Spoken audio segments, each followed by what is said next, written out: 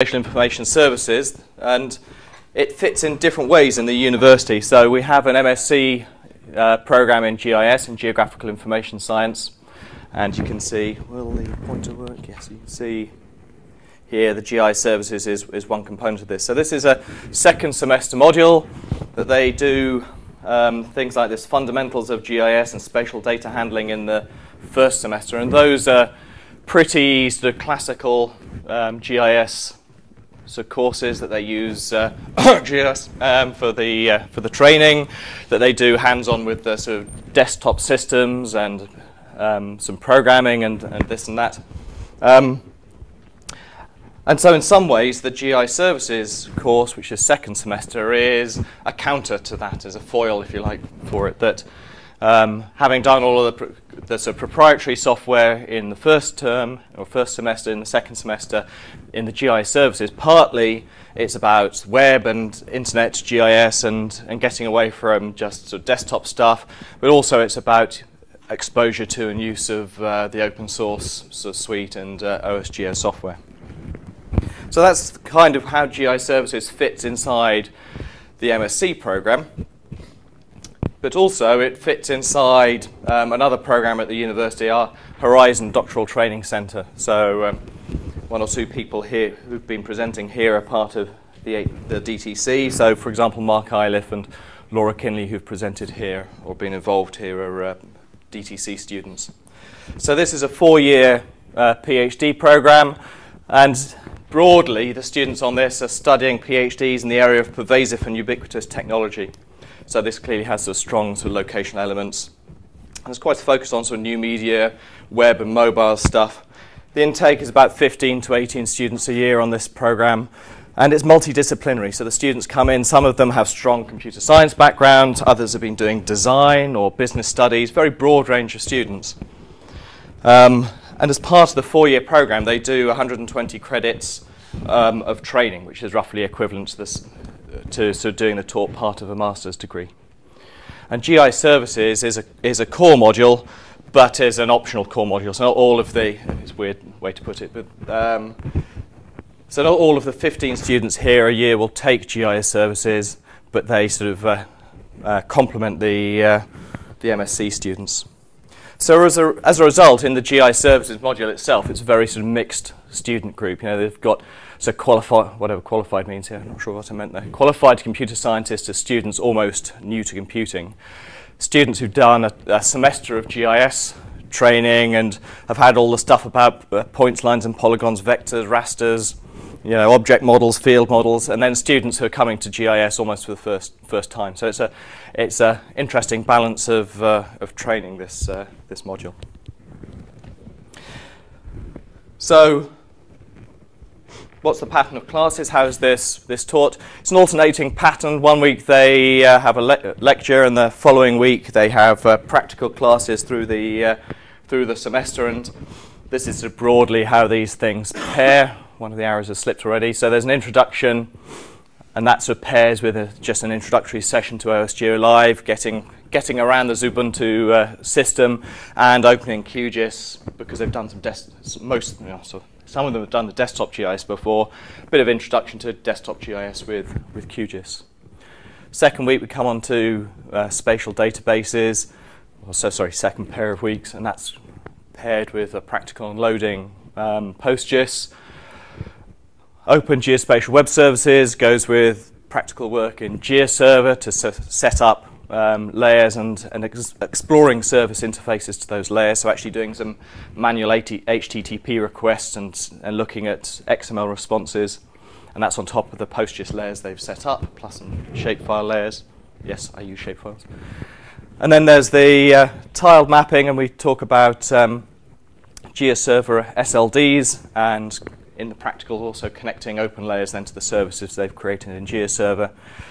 There's a week for them to catch up, and then a separate piece of work. So at the end of this, they have a piece of coursework to, to hand in that is a build up of all of the work that they've done. And actually, in the piece of coursework, they sort of marry two different pieces of the um, practical work together. So up to here, they've set up services, and then they have a slightly separate piece of work which introduces them to OpenLayers. And the final, so bringing it all together, is actually to connect OpenLayers to the services they've, they've created and to create an, and actually an appropriate web map um, interface to, to, some data analysis they've done in through this uh, practical in QGIS as well. So kind of the coursework, if they've kept up with the individual practical elements, the coursework kind of brings this all together. So at the end, they also do some API programming, we, uh, which is separate from the, the coursework. And we, you know, we, one of the aims of uh, the MSc program, at least, is that they should see commercial and uh, open solutions because that's they're going out to the world of work. Still, that's what they need. So we do rather. so they've done some work in OpenLayers as an API, and we kind of compare and contrast that with uh, using Google Maps. So that's kind of the structure of this that this uh, OSGeo Live thing uh, sort of fits into. So it's a, a pretty sort of brisk um, pace through this to uh, to keep going through all of this. So the first sort of iteration of this was in the um, spring of 2012 last year. It feels like uh, feels like several years ago already, and indeed this was quite a you know, previous version of OSGeo Live. This is 5.0 that uh, we used in this.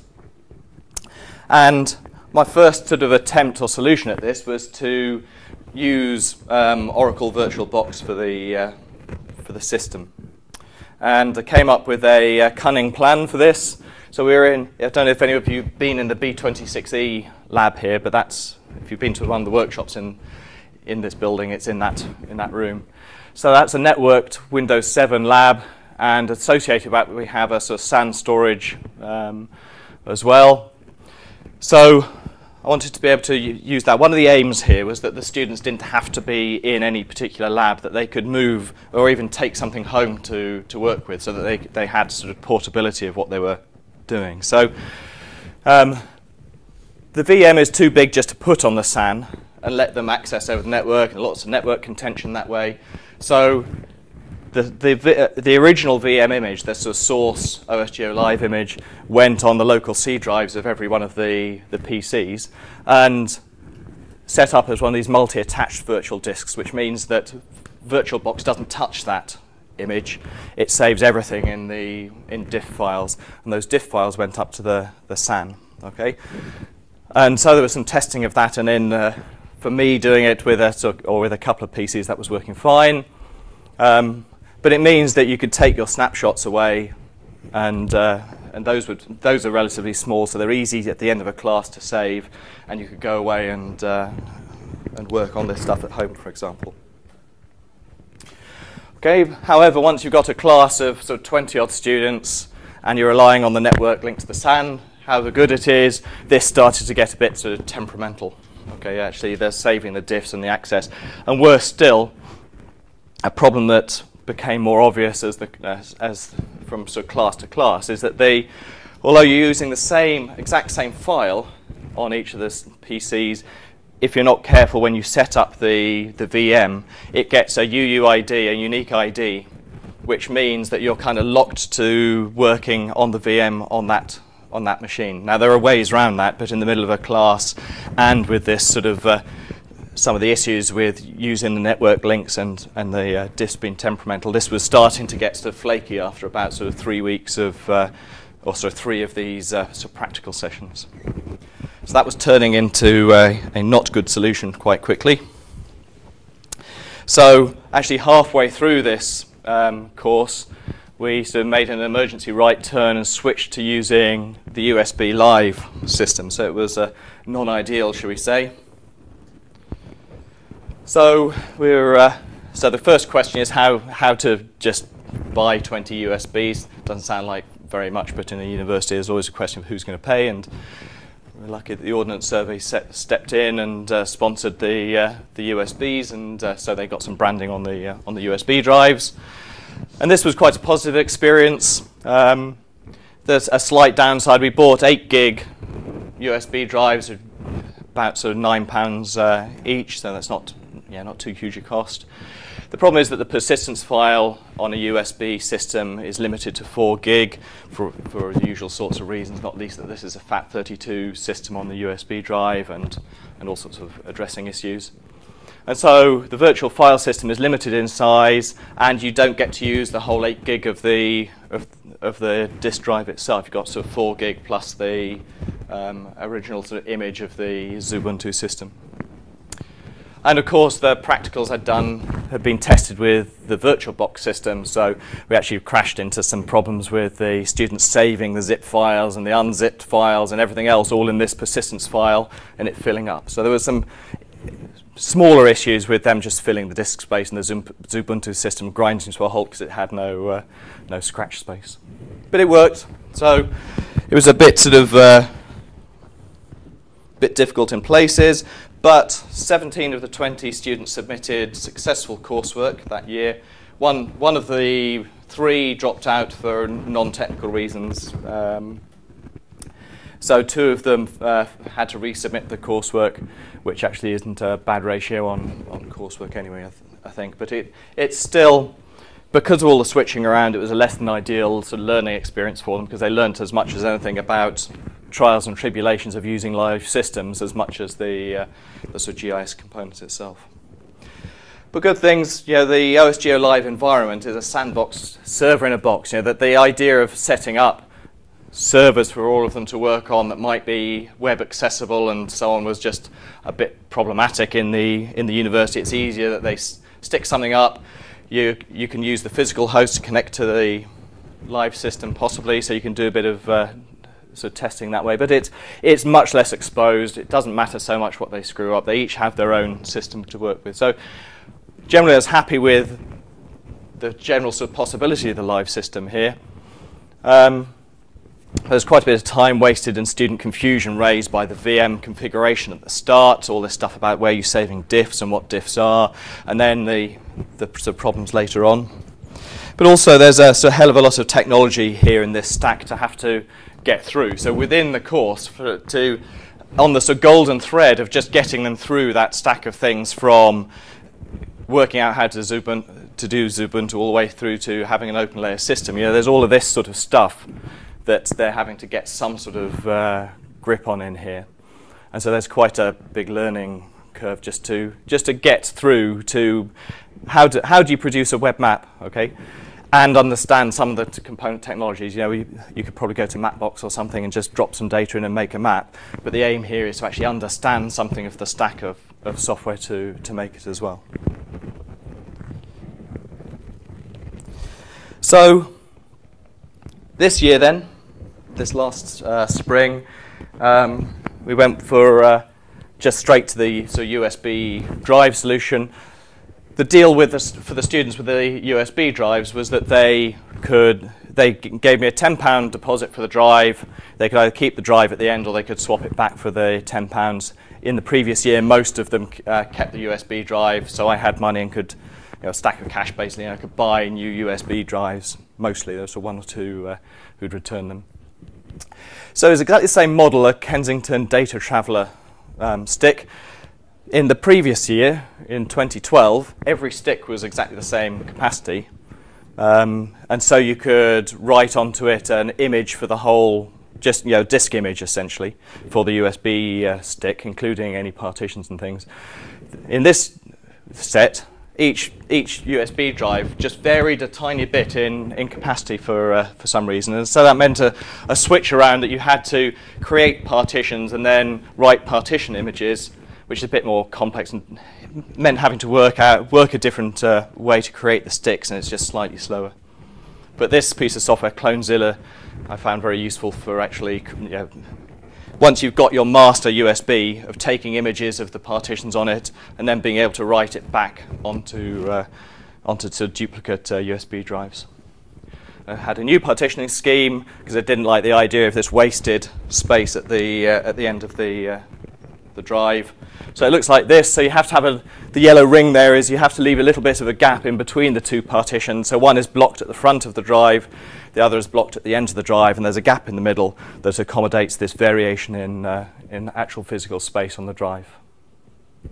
And so you take a, basically a partition image for the of master partition and the um, FAT32 partition. You set, and there's a parted um, script that sets up the basic structure, and then Clonezilla writes into it. Okay, so that sets up a USB drive and a way to, uh, to clone it.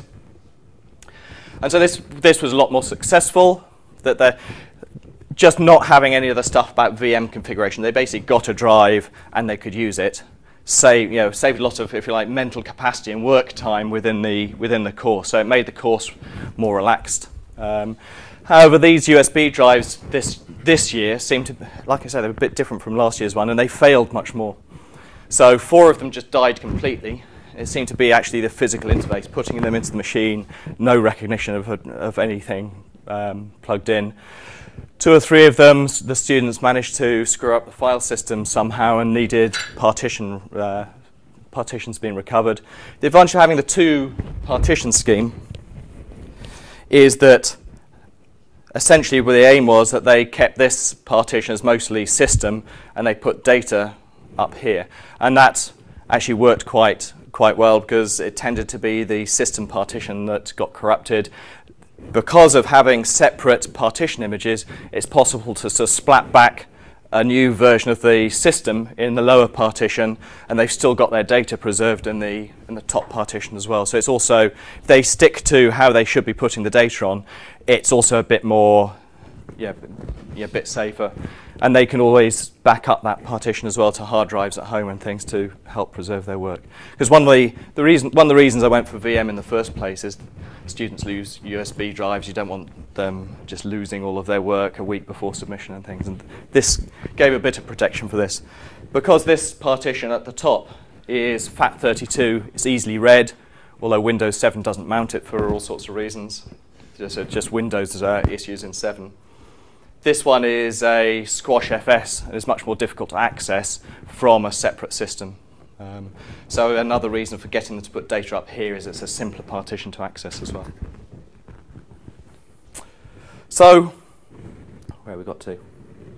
Yeah, so actually in the end, despite one or two sort of teething problems or issues with the USB drives, all the students submitted this year one a day or day or two late, and so they all passed except the guy who submitted late because the, and that was just because of the late penalty. So it's more successful in terms of uh, student outcome this year, and uh, partly because it's the second time round, and I ironed out some bugs in just what the practical work was, but also just there was it was much simpler. So this will be be repeating this course again this year. So what am I going to do this year? I'd been thinking of just using the live USB again and probably using Live 7. It's a shame there's not got QGIS 2 on, but uh, there we are. 7.5 isn't out quite in time for this, this course. The 0.5 releases come just after I've started the course, which is uh, slightly disappointing, but just one of those things. But maybe I'll look at uh, a different live system. I know some of the presenters here have built their own Ubuntu live systems, which are a bit more sort of slimmed down. That's a possibility. But I came in working on some of the work with people on some of the workshops here, I came across Portable VirtualBox, which packages VirtualBox into an executable you can run off a live disk. Live 6 is very slow to boot, okay, and it was much slower than Live 5 to boot. The biggest disadvantage this year was having to wait for Live 6 to boot. Um, and actually loading it into memory as a off a VM image does does have some advantages. So I might go for this uh, this scheme. Or other things I might experiment with is setting up Am Amazon instances for, for each of the students and get away from having physical devices at all, that they can access those instances anywhere. But that needs, uh, needs some different form of payment, and that might get in the way. And then possibly over with some discussions around here, maybe some sort of thin client thing, but I think that's too difficult with our uh, firewalls and proxies. So I suspect it'll the so path of minimum action is to use Live 7 and just go for the same thing again. Maybe a different make of USB drive this year, but um, it, it, was reasonably settled uh, by the end of last uh, this uh, last session. So I think that's the that's the run through. Have I done for time? Not too bad. So if you want uh, want any more, if you want a bit more detail of setting of the sort of trials and tribulations of setting up the USB drives and things, if you go to my, I don't often blog, but I did write it, it up on my uh, blog page here if you want uh, more about this, or just uh, contact me uh, directly. So, thank you.